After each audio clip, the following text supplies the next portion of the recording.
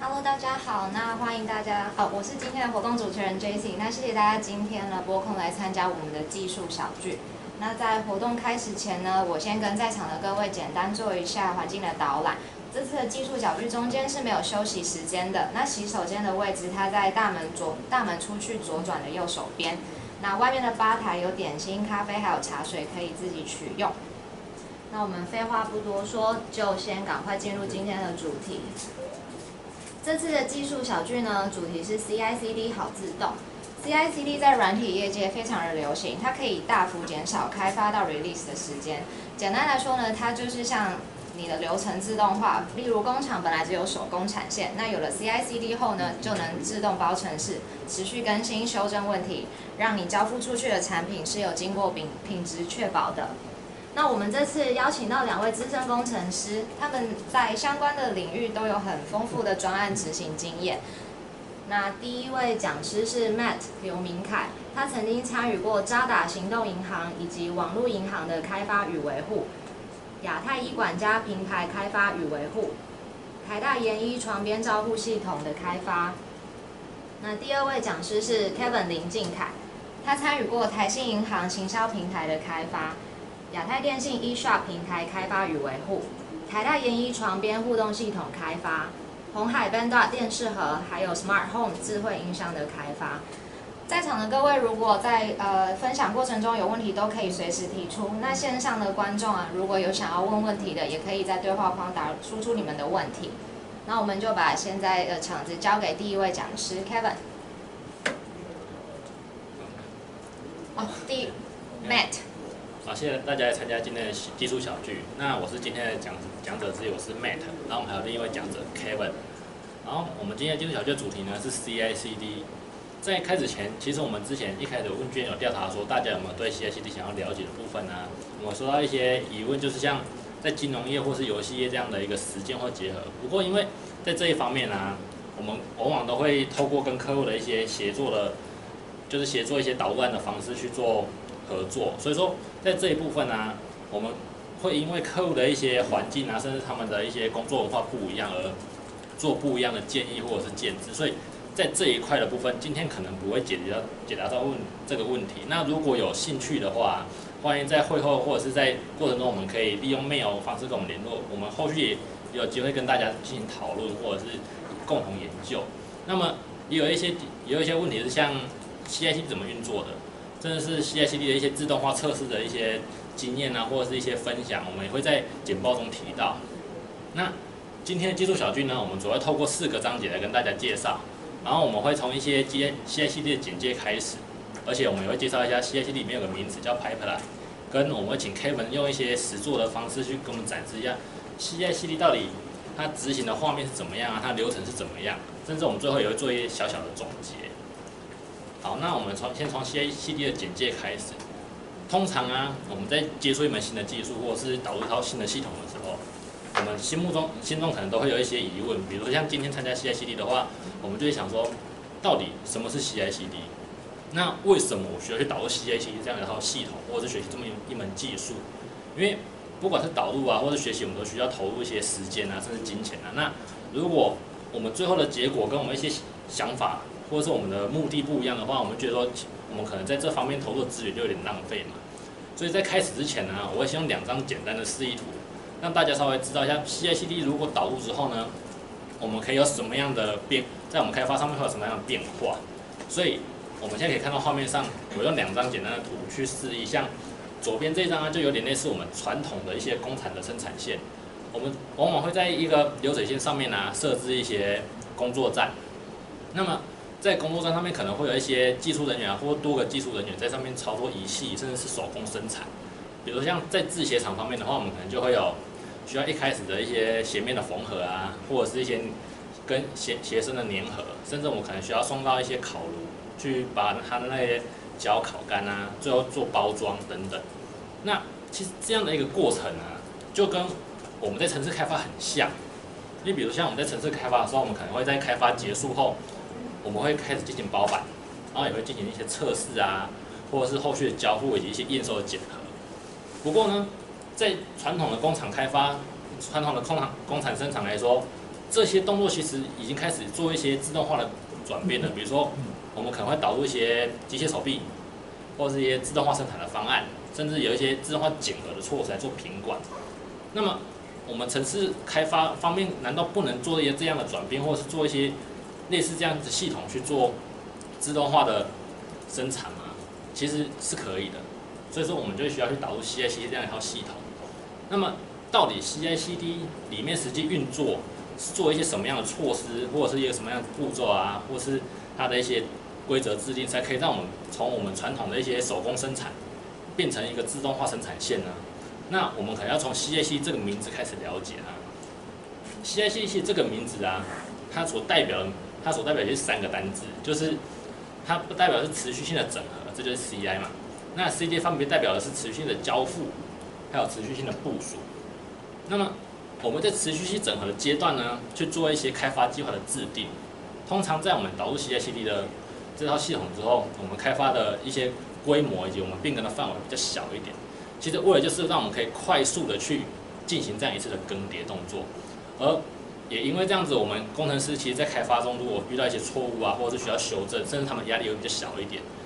然后我们在开发结束之后呢，通常我们会把我们的程式码推推送到我们的反控系统上面。那么在此时，我们的 CI server 就接收到它推送上去的资讯，去触发后面的一些自动化流程，比如像我们的包板，或者我们的测试，甚至我们一些源码扫描等等。所以说，在我们持续整合阶段的过程结束之后，我们就进入下一个环节，就是我们持续性的交付。那持续交付它其实主要呢，就是我们包出来的一些程式啊，我们建构完的档案，我们可以把它部署到我们相对应的一些检核环境上面，比如像我们可能会有 SIT，或者我们会有 UAT，甚还有 Production 这样的环境上，我们会进行我们一连串的规范好的一些测试标准啊，或者检核标准，这样的话，我们才可以放心的让我们这一次包出来的程式，我们可以利用自动化方式去部署到 Production 环境上，那么我们就可以发现呢。我们只要执行这样一连串的自动化过程之后，其实很多我们需要人为介入的时间点，全部都可以以自动化方式取代了。那这样子就可以节省掉很多的时间。而这样子的一个过程呢，可以带给我们什么样的优势，或者是什么样的优点呢？我们可以看一下，我们因为建立自动化的关系啊，所以我们可以在我们刚刚说的一些需要人为介入的时间点，我们可以节省这些人力的投入或者这些成本。但说这个优点其实后续有会有一些小小迷失或是争议啦。不过呢，我们可以知道，就是我们减少这些人为介入的次数，我们可以有效去降低它发生人为疏失的风险。就比如说可能会有工程师他可能追剧追比较晚，然后他早上来的时候指令输入错误了，或者像我们在 PPT 上面常听到的一些玩笑，像是工程师打翻泡面啊之类这些人为疏失的一些风险，我们也可以有效去降低它，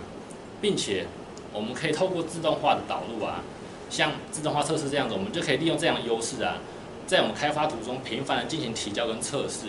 这样我们就可以有效在开发途中，可以去发现，因为我们到底会不会因为新的功能添加，导致一些旧的功能出错，甚至是我们可以知道说，会不会其实我们开发过程本来就已经出现错误，这些风险我们都可以提前去截取到，甚至是我们可以提早解决它，因此变相就可以去维持我们的产品产出的品质，甚至。我们可以利用这样的一个规一个规范的一个标准，我们的板控上面维持的是一直都是可以部署到正式环境上面的一些版本。那这样的话就可以衍生出更好的一个优势，就是如果当我们的服务产生一些严重的损毁啊，甚至是服务丢失的情况，我们也可以在很快时间内去修复它。那我们提到说，我们会在导入 CI/CD 之后，会让我们的更迭速度变得更更加频繁、更快。那这样的好处就是呢，我们可以有效利用这样的优势，去频繁的变更我们的一些错误，或者说向客户可能会回报一些他们觉得我们不够人性化的设计啊，甚至是我们文案我们的一些小 bug，我们可以利用这样的一个快速更迭的方式去进行一些更新变化。那么客户就会因此感受到我们在这个产品上面的用心，而且他们也会提高他们对产品的满意度，甚至有可能提升提升我们的品牌形象、公司形象。不过那么多优点，相对的也会产生出一些缺点嘛。比如像我们在导入这样一套系统的时候，我们前期需要投入额外的成本，因为毕竟我们需要架设 CI server，甚至我们需要去配置它的一些测试环境啊，或者检核环境，还有我们工程师也需要去学这方面的一些技术或者是知识。还有甚至我们要去添加添加一些自自动化测试的脚本，还有我们要去维护它嘛。所以后面这个我们就可以发现，哎，其实它好像跟前面一些降低人力及时间成本有一些小小的争议。不过呢，它额外衍衍生出这些优点啊，其实就远远盖过它这些缺点了。所以像是一些比较大型的公司，像雅虎啊、乐天啊，甚至是 Google、Amazon，他们都有他们自己的 CI/CD 的系统。那我们要怎么样才能知道我导入这套系统之后有没有发挥它的优势？要用什么样的标准去检核它呢？其实我们也可以参考一下 Google 以及其他一些研究组织共同发布的一个报告。它这边就会以四个主要的评比指标去评估一下我们这这样系统是不是有达到我们想要的标准。所以我们可以看到，这四四个指标分别就是我们的部署频率，还有我们我们的变更的前置时间，跟我们服务修复的时间。这是我们每一次变更的失败几率有多高。那么右边这这张图就是我们这份报告里面呢，会将我们的表现分成四个层级，就是像精英或者是表现比较好的，这是表现普通，最后是表现比较低下这样的层级。那我们上面可以看到，达到精英层级的这些组织，他们可以达到一，他们可以做到一个什么程度呢？就是像他们的产品每天可以进行多次的部署。所以我们刚刚有提到，像 Amazon、Google、甚至 Netflix。他们一天就有上千次的部署，虽然说是他们整个公司的这样的上百个服务来说，整合起来他们有一个上百次的部署。不过，像美国第一资本啊，他们这样的一个一些金融企业，他们可以达到五十次以上的部署，甚至报告里面有提出保守估计，他们一项产品一天就有四次以上的部署。那么，他们部署所需时间呢？其实每一次从他们的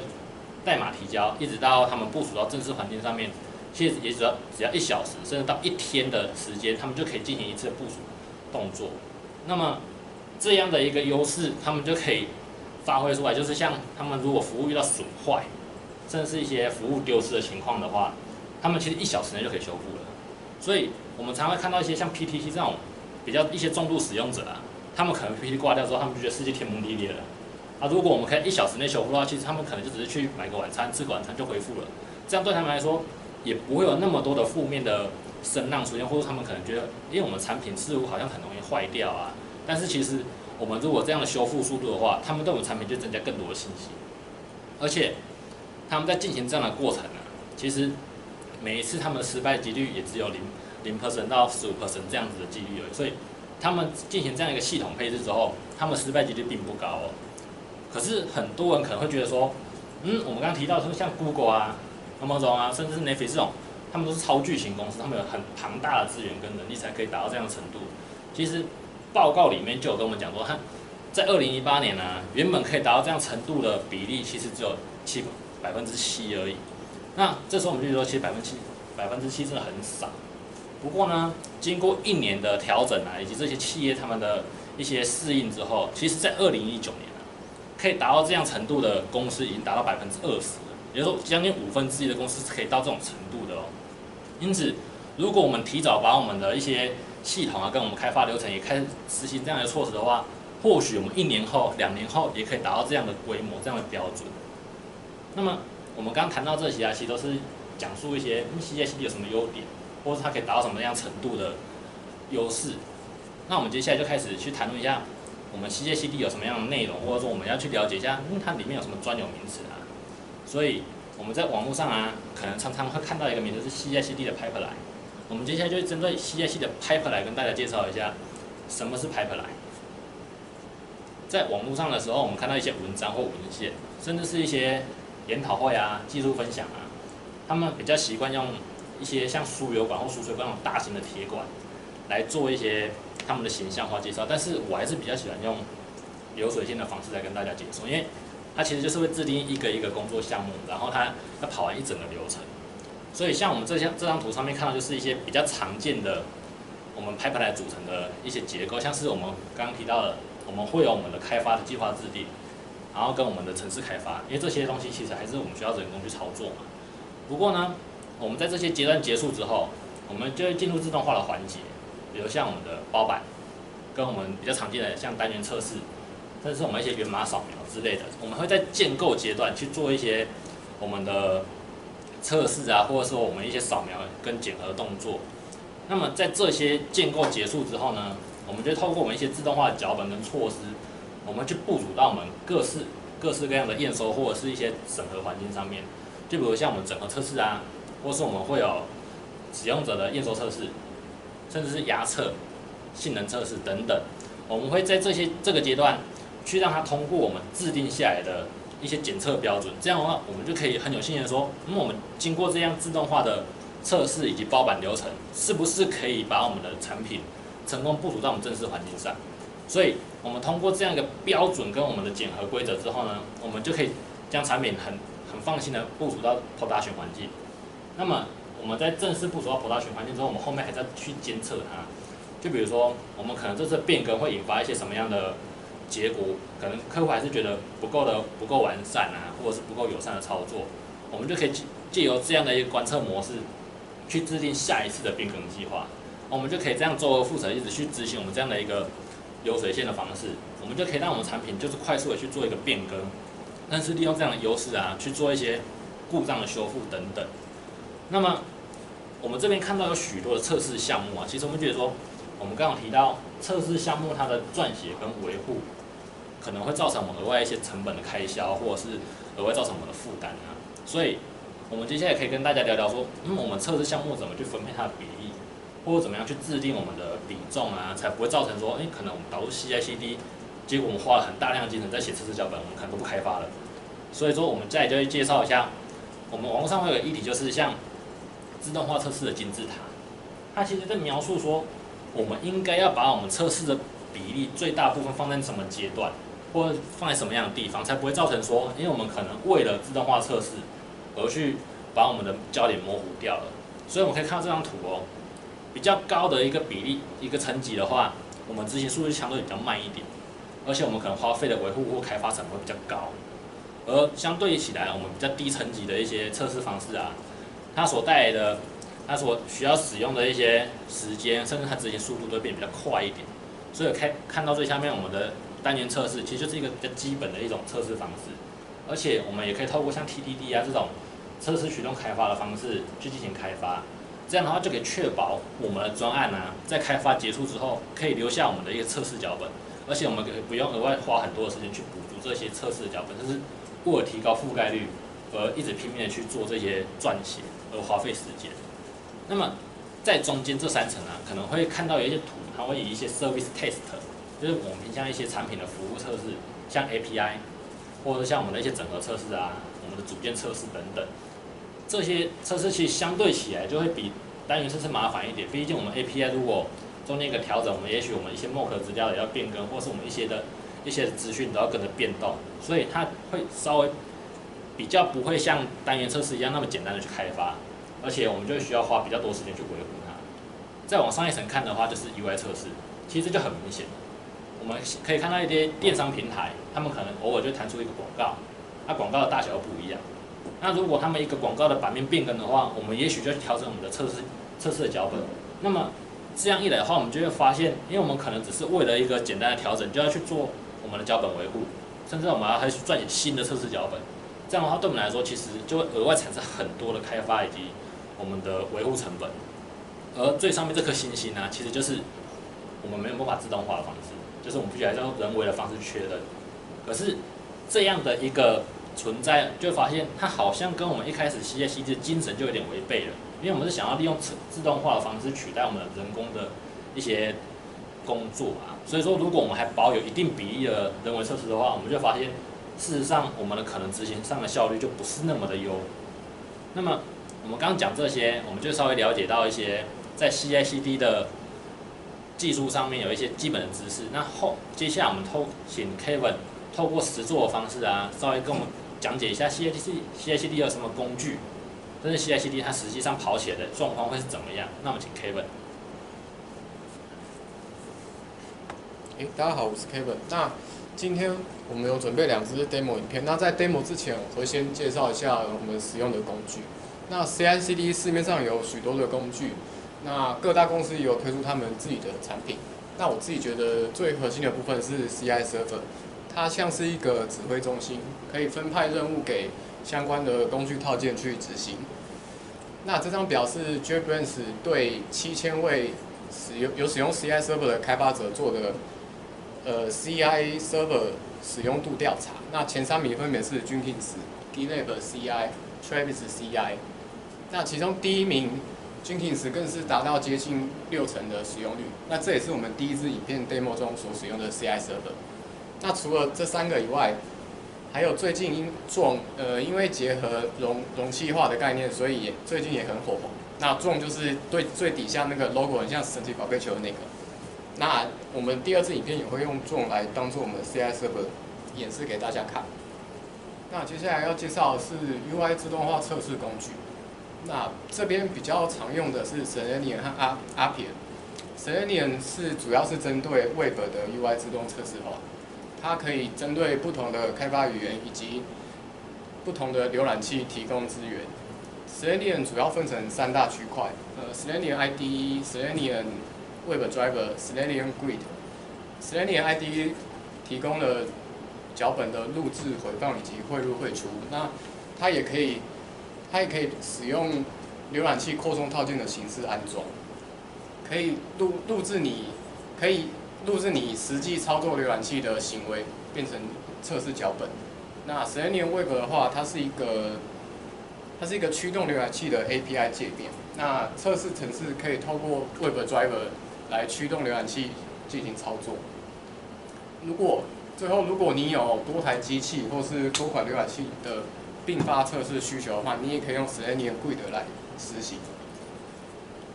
接下来的话是城市码扫描工具，这边大家比较常听的听到的就是 SonarQ。那 SonarQ 可以针对自己刻字分析条件以及不同的开发语言去扫描你的你的城市码，那产出相对应的报表以及建议。那右边这张图就是 SonarQ 扫描出来的报表，大家可以看到这边主要五大项是。分别是可靠性、安全性、可维护性以及测试覆盖率，还有城市重复率。那双 Q 会针对这五块产出一个报表。那每它针对双 Q 产生的每一项项目呢，它都有建议的修改修改方式，所以对你识别城市码漏洞以及维持城市码的产出品质都是很有帮助。那接下来进入我们 demo 部分。那 demo 一部分有两。有两个部分，一部分一个呃，一部是 Jenkins，一部是重那我们先看 Jenkins 的部分。Jenkins 的话，呃，流程像上面各位看到，一开始从板控开始，板控提交之后呢，会经过建制、测试、部署的流程。那这是一个基本的 CSD 流程。那这边在部署前，我们加了一个检查点。可以针对像 UA 部署到 UAT 环境或正式环境之前，有个审核放行的动作。那使用到的测试工具跟检查工具，就是刚刚介绍到的 Selenium 以及 SonarQ。至于单元测试的部分，我们使用 TestNG 来进行。那我们现在看一下 demo 影片。那 CSD 第一步一定是从板控先提交开始。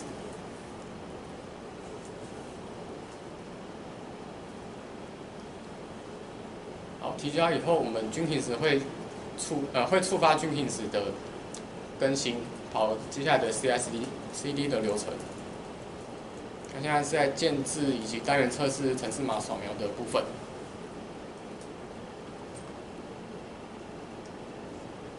这边执行完毕以后，就会进入我们的审核点，会寄发审核通知信给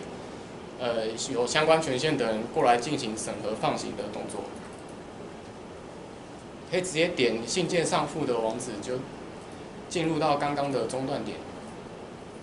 那有没有中断点这边有设置权限，所以我们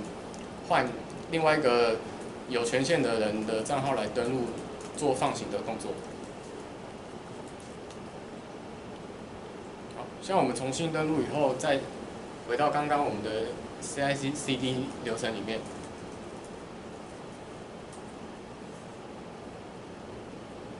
现在放行以后，它就会部就是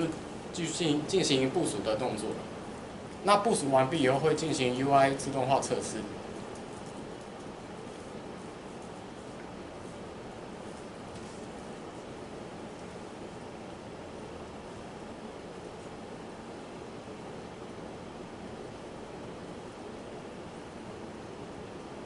那 UI 测试自动化测试执行完毕以后，呃，以上的 CI/CD 流程就执行完毕了。那我们可以从这个 UI 界面上看到每个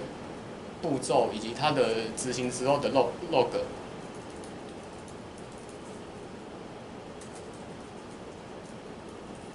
因为我们可以依据环境需求调整我们的 pipeline。例如 DB 环境的话，我们就可以跳过审核的步骤，直接部部署上板。啊，接下来我们刚刚看到，我们来看刚刚做的单元测试以及扫描的结果报表。首先是 test ng 的测试报表。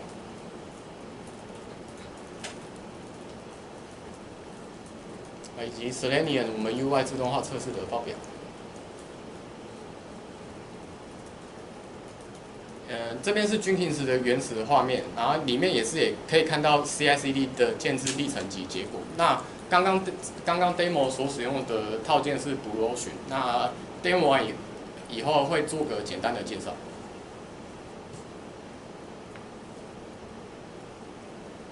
最后是我们 SonarQ 扫描的结果。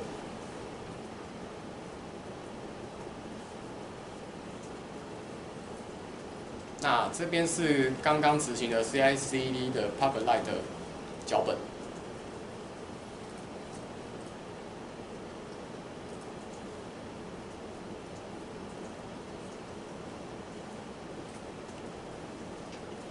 好，那以上是我们 Jenkins 的 demo。那我们来介绍一下刚刚 demo 中 Jenkins 所使用的套件。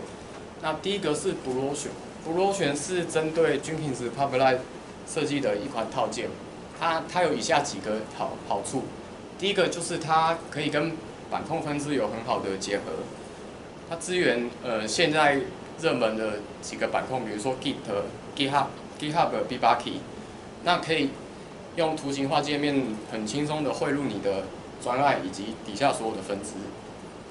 再就是它有视觉化的 pipeline，你可以呃很清楚看到你每一次建制过程的状态及结果。那以及你建制的过程历历历经的步骤以及以及 log，还有就是 pipeline 的编辑器，你可以直接使用 UI 界面来编辑你的 pipeline，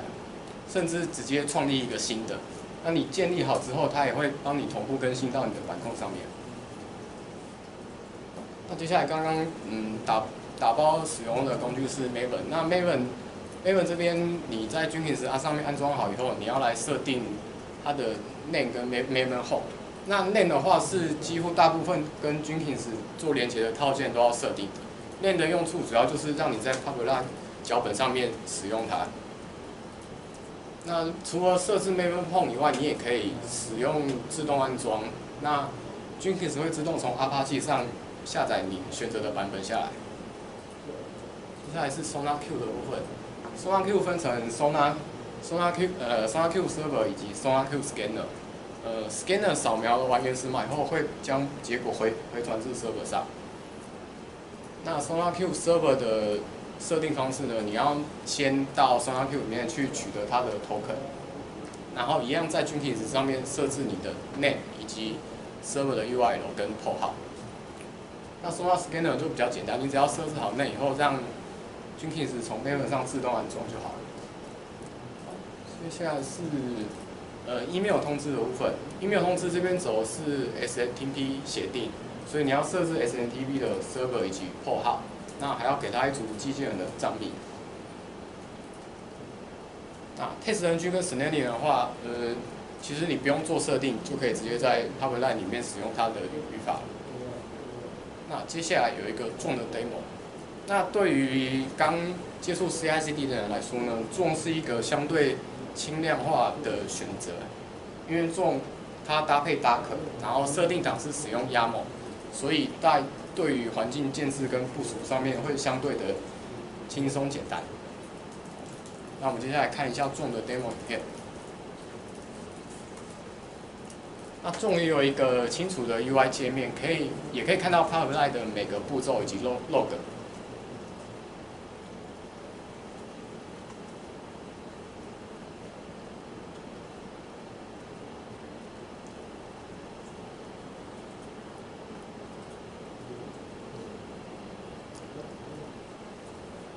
重是执行在 Docker 上，那我们这次 Docker 的设定是用 Docker Compose 做 container 的一个设定。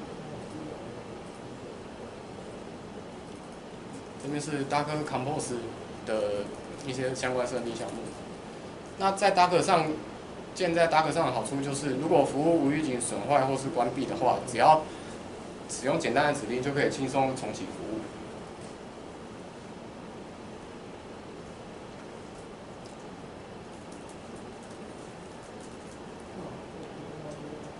像我们服务重启以后，确为了确保它是正常的，所以我们现在复习一个变更到板控，然后并且让它重新跑一次 CI/CD 的流程。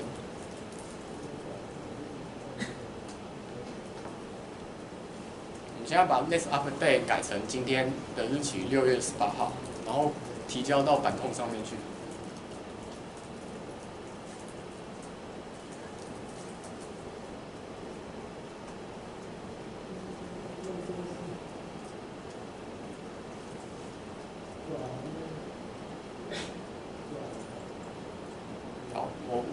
然后做呢也接收到板控更新的讯息，那开始跑 CI/CD 的流程了。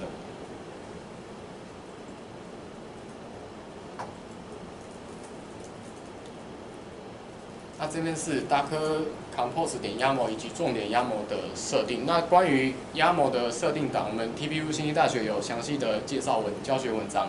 大家如果有兴趣可以上去上去研究看看。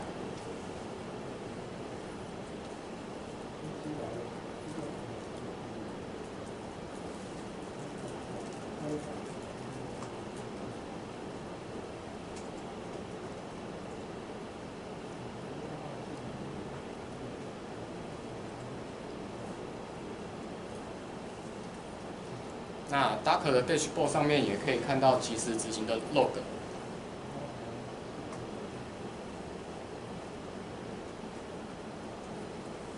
好，我们现在 CI/CD 流程即将完成了。那我们完成之后进去看，进去网页看看更新日期是不是已经已经确定变成六月十八号。我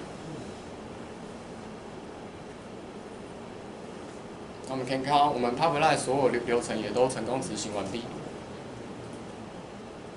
好，那我们以上就是我们做的 demo 影片。好，这边做个小总结。那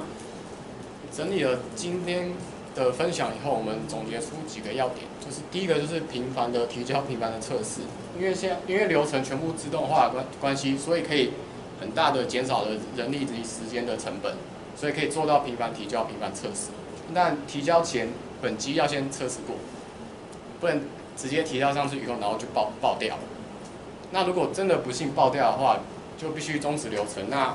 把排除错误列为最优先解决事项，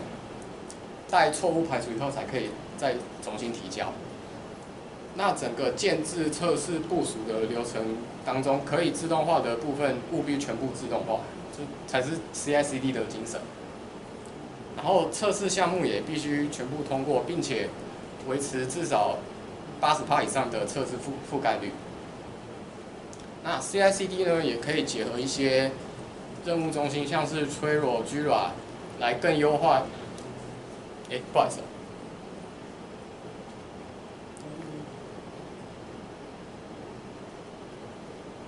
呃，CI/CD 也可以结合 Trello、Jira 这些。任务中心来更优化开开发我运的流程。那这接下来这边我们再请 Mate 来为我们做分享，谢谢。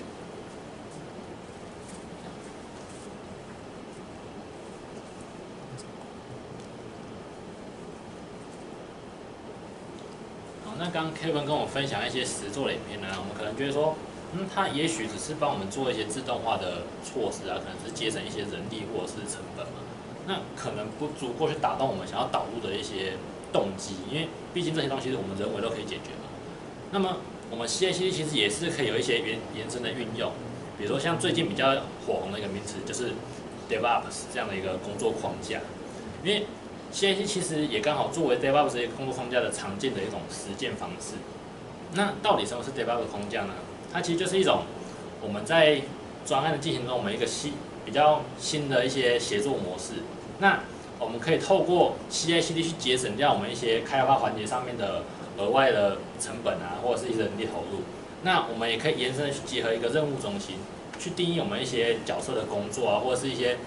我们的相互的沟通，甚至我们可以利用一些工具的结合方式，我们可以再取得一些我们专案进行中的一些资讯，比如像我们专案的进度到哪边了，甚至是我们一些包板啊，会不会有一些错错误啊，甚至我们一些测试的错误资讯，那我们就可以很清楚的透过这样的一些沟通方式，来去改变我们一些协作模式，进而节省我们另一个比较常见的花费，就是沟通成本。因为像我们不但在开发环节上面会有一些额外的人力人力介入需要去节省这些成本之外，我们在沟通上面往往会透过很多信件的来往，甚至我们可能会确认一些小小小资讯去做康扣啊，甚至我们要 booking 会议室来开会。那么这样的一个过程，其实就会产生我们很多很多时间上面的花费。因此，我们可以透过这样一个任务中心的制定啊，去节省掉我们这些花费。那我们可以看到说。我们刚刚有介绍到 CI/CD，其实就是以一些自动化的方式啊，去解决我们在开发上面的一些额外消耗。那我们可以看到，我们刚刚介绍到的一些 SonarQube 啊，甚至 Apim、Selenium，以及我们 Jenkins 这样的驱动方式。那我们在这些环节之下，既然可以节省我们时间的话，我们如果再把这个东西去结合像我们一些 Jira 这样，或是 Trello 这样的专案管理工具的话，这在经经由我们去重新定义每个角色他应该要做的工作范围。那么，我们就可以很有效的去改善我们在专案开发上面的一些协作模式，以及我们一些时间的消耗。而这这这一部分，其实我们可以了解到，因为我们可能会有一些专案资讯以及专案报告，甚至我们可以利用这些工具的方式啊，直接去看到我们现在单元测试的脚本是否成功了，还有我们的进度，甚至我们可以利用它去管理我们的文件，这样我们就可以很透明化去公开我们在专案。开发上面的一些资讯，我们可以不用一直利用一些新件来往，甚至是我们不用一直去开会制定一些比较小规模，甚至是一些简单的变更，甚至是我们专案上面可能一个文案是否采用，我们可能还要在 email 来 email 去，里面还有一些什么 Dear Kevin 啊，直接这样的文文字去解说，哎，我记记这东西只是要跟你说，我希望取得你的共识，那我们就可以利用这种比较简单的沟通方式，去制定我们自己在专案内协作方式。这样，不管是我们任何角色，都可以在第一时间取得我们专案内的一些资讯，不用再透过很多时间上面的协调，甚至大家都要开会，大家很忙，大家都有自己的工作项目，所以说这样的方式就可以有效减省我们沟通上的成本。不过呢，因为 DevOps 不是我们今天的主题，我们今天主题还在 CI/CD 上面。那在这一部分呢，我们以后可能有机会再跟大家介绍一下关于这方面的分享。那我们刚刚提到的，像不管是 DevOps，或者是我们的 CI/CD，都会有相当多一些工具上面的结合啊。那怎么样的工具搭配才可以比较符合我们专案上面的需求，或者是有没有比较推荐的工具搭配呢？那在这一块啊，我们可以看到一张图，就是我们在 DevOps 或者是 CI/CD 这市面上，我们有许多许多的工具，比如说像我们刚刚说到沟通用或者是管理用的 Jira、Trello，甚至 Slack 这样的沟通工具，或者是因为我们可能专案里面就有用到一些板控，例如用了 Bitbucket。这个 GitHub、GitLab 这类办公工具，再结合一些像刚 Kevin 帮帮我们介绍的 Jenkins 啊、d r o m 啊，或是 Microsoft 的 TFS 啊等等，那这些工具结合，其实主要还是取决我们专案上面的需求。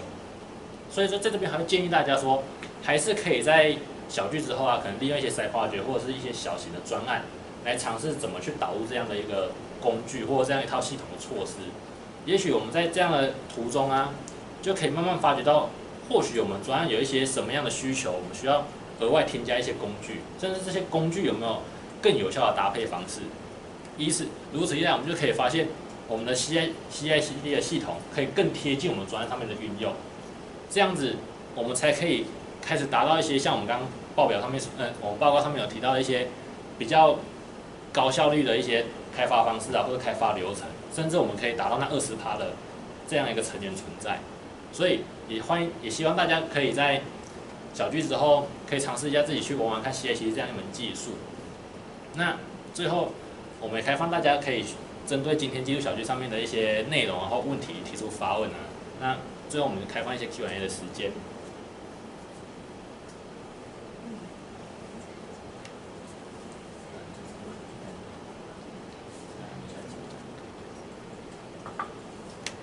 这边有一个人问说，他对于执行 CI/CD 很有兴趣，那他想从头学习跟 CI/CD 相关的知识，讲师有没有推荐的作者或是网站呢？其实，在这一方面呢、不管是像 IT 铁人啊，甚至像我们的悉尼大学上面都有一些教大家怎么去架设这样的文章。比如说像我们刚刚影片里面就用到的 Drone，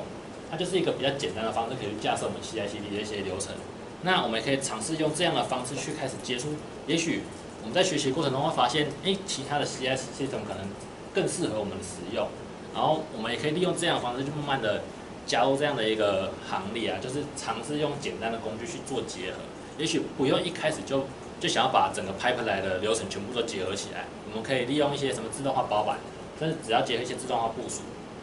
而且这边也可以像 GitLab 这个板控，他们其实上面就有就简单的 GitLab CI，也可以尝试一下，就是我们只要透过一些文件的设定或指令的设定，就可以操作一些简单的 CI 流程。对，希望有解答到大家问题。那刚刚讲师介绍的那些都是付费的工具？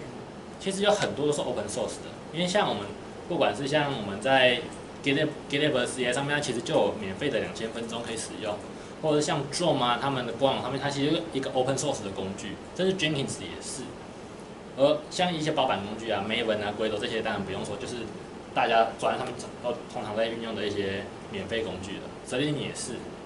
而我们里面有提到一些测试工具，像 JMeter 啊、JUnit 这些，其实应该大家都蛮常见的。这些东西都可以去选择，而且很多开源软体可以使用。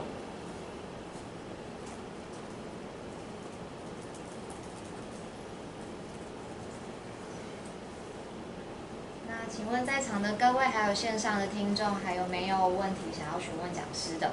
快点把握机会哦！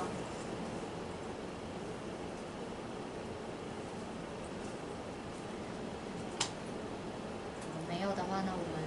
请。好，那我谢谢 Kevin 还有 Matt 今天晚上精彩的分享。那希望大家都有很多收获。那呃，我们今天的简报内容呢，还有影片都会提供给有参与的伙伴们。那这里有一张 QR code，在那个 Webex 的对话框里面也有一个连接，请大家可以扫码或者是点入连接去留下你们的相关资料，还有 feedback。我们会根据大家提供的联络方式去寄出简报还有影片。那技术小聚呢是新力大学主办的每个月一次的活动。新力大学是新力资讯成立的技术共享专业论坛，里面有许多我们的工程师还有 PM 会分享在工作中学习到的经验、技术研究心得，是一个资讯共享的平台。那也欢迎大家能够到上面去挖宝，也邀请大家能够到新力资讯的粉丝专业 LinkedIn 还有 YouTube 去追踪订阅。那我们下一个月的主题是有关 React JS。详细的内容我们会公布在活动通上，那我们就下个月见，谢谢，谢谢大家。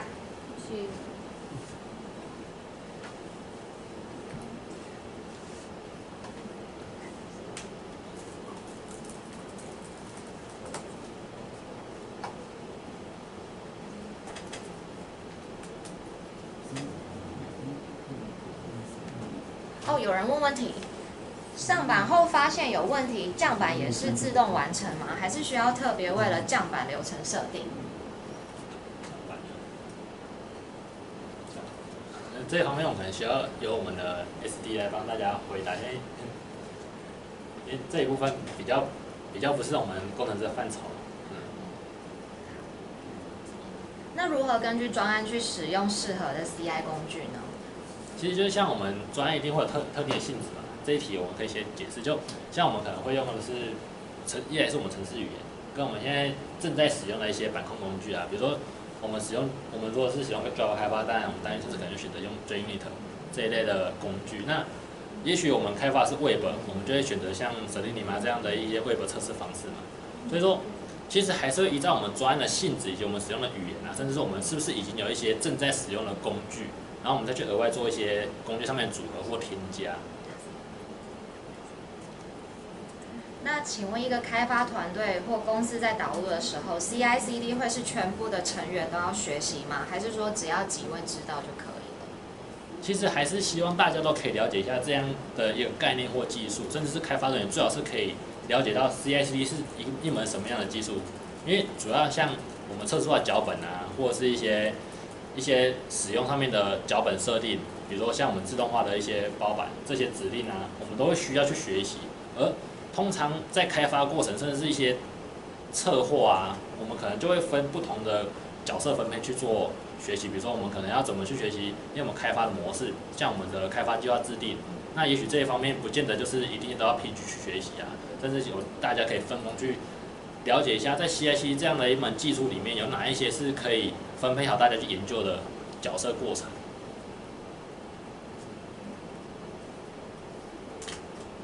好，那如果大家没有其他的问题的话，那我们今天技术小聚就到这边。